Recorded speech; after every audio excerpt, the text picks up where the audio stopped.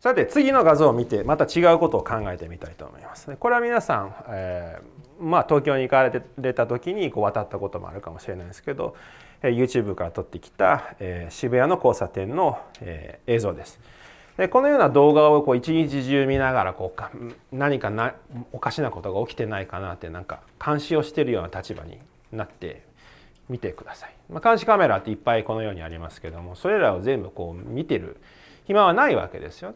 でこの中で誰か何か怪しい人がこっち歩いて人の間縫って歩いてったから追跡しなきゃいけないとかあどっかここでカバンをそっと置いてった人がいるからこうなんか警察に言わなきゃいけないとかそういうことを こんだけの混雑雑踏の中でするのは非常に大変なわけですよね。でも逆に雑踏混雑しているからこそ危険なことが起こりやすいのでより監視をちゃんとしなければいけないわけですよね。で監視を含む人間人物行動解析っていうのはもとも昔からコンピュータービジョンではある大事な研究テーマでしてでも大体の過程アプローチとしてはこう非常に人間が少なくて例えば10人とかたかだか20人がこうなんか性的なこう背景の前でこう動いてると。なのでずっと画像をこう平均化してやると背景が抽出できるので背景を引っこ抜いて前景のそれぞれの人をこう追跡していくっていうようなアプローチを元にしてるんですね。でもこのようなこう日本でのこう雑踏における、えー追跡に関してはこう背景も前景もへったくれもないわけですよね。みんな人間が前景であり背景であり重なっててこう全部動いててなかなか分離できないと。なのでそんな普通のアプローチは取れないんですけどもやっぱりどうにかこのような雑踏でもこう人物行動解析できないかなということを考えました。でその時に考えたのが、えー、人がいっぱいいるからこそ逆転の発想で発想で人がいっぱいいるからこそ何かその特徴を使えるんではないかなと考えました。で何を考えたかを説明するためにこう極端な例として人混みの大きいこう夏のプールを考えてみてください。こう多分こう記録的な猛暑の日だったと思うんですけど、まあ、まあまあグロテスクですけど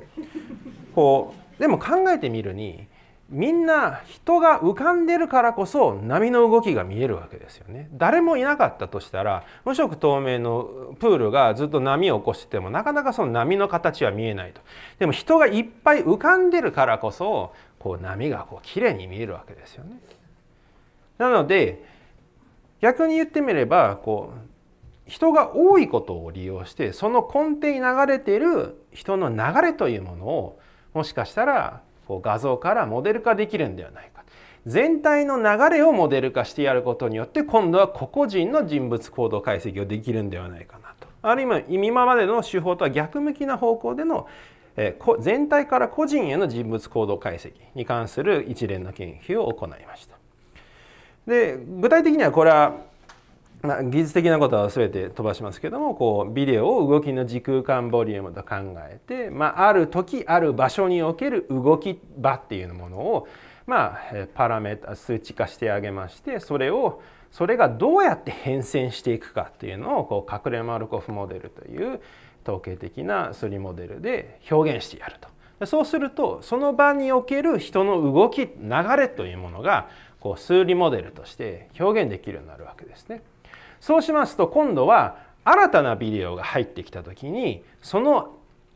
ビデオに映された人の流れというのが自分が学習した人の流れと合致しているかどうかっていうことを統計的な数値として計算できるになるわけですね。そうすると例えば人の流れに逆らって歩いていくような人を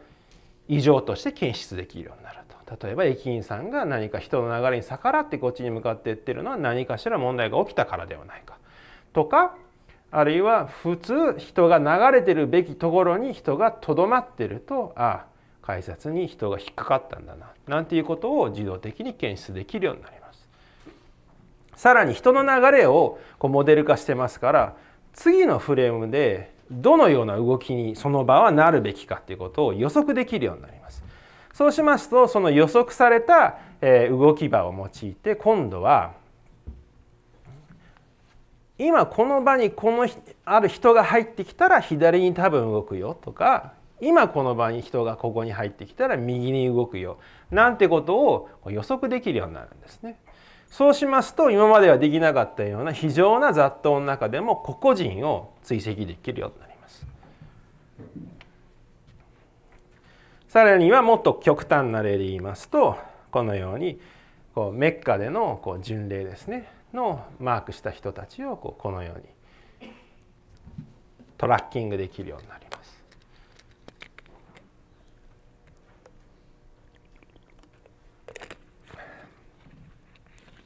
でまあもちろん監視とかというとちょっとこう怖いなっていう気もするのかもしれませんけれども、まあ、こうやって人の人物行動を解析できるようになると例えばこんな非常な雑踏が起こりうるようなスペースをどのようにこうリモデリングしてやってリデザインしてあげてこう混雑が緩和するようにあのデザ建築を変えられるかなんてことも考えられるようになります。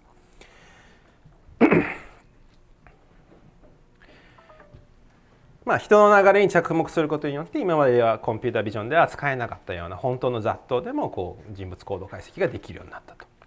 いうわけです。